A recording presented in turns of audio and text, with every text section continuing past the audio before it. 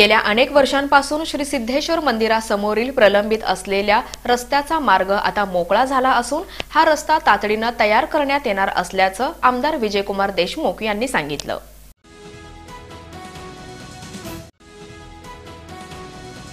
श्री सिद्धेश्वर मंदिरासमोरील रस्त्याचा विषय गेल्या अनेक वर्षांपासून न्यायालयात प्रलंबित होता. परिसरातील रहिवाशांनी वक्फ बोर्डामार्फत औरंगाबाद खंडपीठाकडे धाव घेतली होती. ही बाब न्यायप्रविष्ठ असल्यानं महापालिकेला रस्ता करता येत नव्हता. मात्र आता महापालिकेच्या विधान सल्लागारांमार्फत या रस्त्याची औरंगाबाद खंडपीठाकडून स्थगिती आणण्यात आली आहे. यामुळं आता रस्ता तयार करण्याचा मार्ग मोकळा झाला आहे.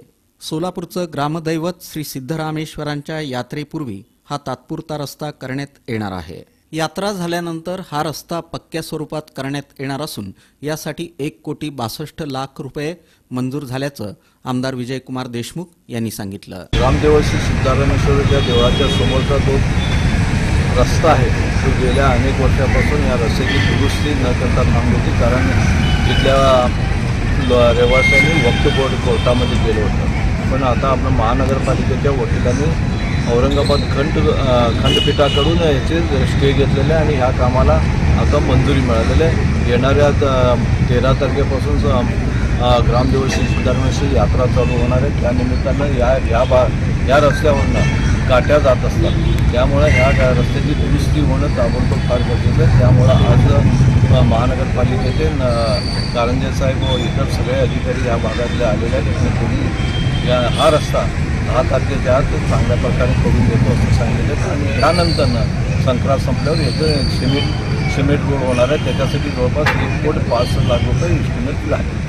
ग्रामदैवत श्री सिद्धरामेश्वर मंदिरासमोरच्या या रस्त्यावर पडलेले खड्डे आणि त्यामध्ये साचणारं ड्रेनेजचं पाणी यामुळं परिसरात दुर्गंधी पसरलेली होती. त्यातच आता श्री सिद्धरामेश्वरांची यात्रा काही दिवसांवर येऊन ठेपलेली असताना शनिवारी आमदार विजयकुमार देशमुख यांनी महापालिकेचे अतिरिक्त आयुक्त संदीप कारंजे यांच्या समवेत संबंधित रस्ता आणि होम मैदानावरील साफसफाई तसंच स्वच्छता याबाबतची पाहणी केली. यावेळी माजी नगरसेवक शिवानंद पाटील संजय कोळी राजू पाटील नागेश भोगडे अमर पुदाले नगर अभियंता लक्ष्मण चलवादी सहाय्यक अभियंता तपन डंके उपअभियंता रामचंद्र पेंटर मेहबूब शेख दिवाणजी नंदकुमार जगधने यांची उपस्थिती होती. दरम्यान आमदार विजयकुमार देशमुख यांनी होम मैदानाची पाहणी करून तातडीनं संपूर्ण साफसफाई आणि स्वच्छता करण्याच्या सूचना पालिका अधिकाऱ्यांना दिल्या.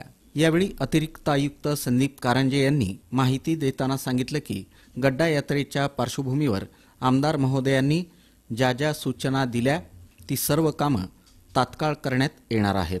यापूर्वी काही कामं केली असून यात्रेपूर्वी संपूर्ण कामं पूर्ण करण्यात येणार असल्याचं त्यांनी स्पष्ट केलं. जानेवारी महिन्यात सोलापूरच्या ग्रामदेव सिद्धरामेश्वराची महायात्राचं नियोजन आहे.